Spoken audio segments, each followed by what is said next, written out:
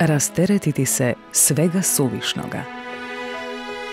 Da, dobro je i to što prije.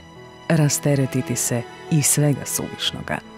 Čovjek se, kao da mu je to zadano od vijeka, ne prestaje ponašati kao sakupljač i lovac, pa sve što uzmogne prikupi, prigrabi. I kada to više nema nikakve svrhe, ne prestaje zgrtati, prikupljeno brižno čuvati, sve do potkraj svojih dana.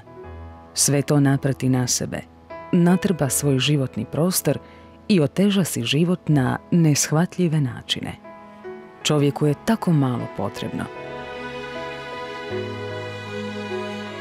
No, zatrpavajući se suvišnim, prekrije upravo ono najpotrebnije i više ne zna razlučiti što mu je uistinu potrebno od onoga što ga guši.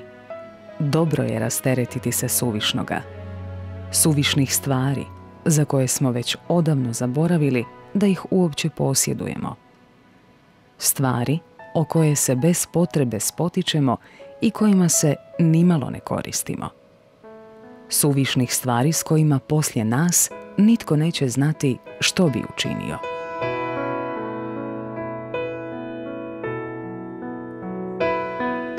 Napose je dobro rasteretiti se nebrojenih morati i trebati.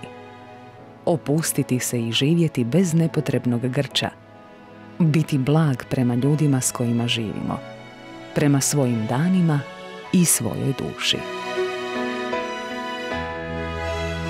Dobro je, što više osobito poželjno, rasteretiti se, koliko je to ljudski moguće, svojih uspoređivanja i zavisti – svojih nezadovoljstava i gorčina, svojih predrasuda i isključivosti, jer to sapinje čovjekov duh. Onemogućuje ga da živi raskriljen, da smirena srca promatra ljude, svijet oko sebe. Dopustiti sebi dah, vrijeme za jednostavno postojanje.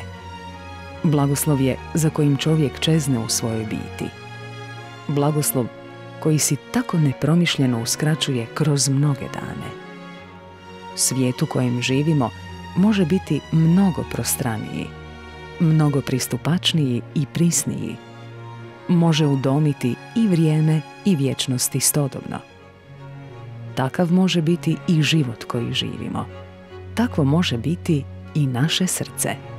Tajna je u ovome – Rasteretiti se svega suvišnog dobro je ne samo da bi se lakše umrlo, nego da bi se bolje živjelo.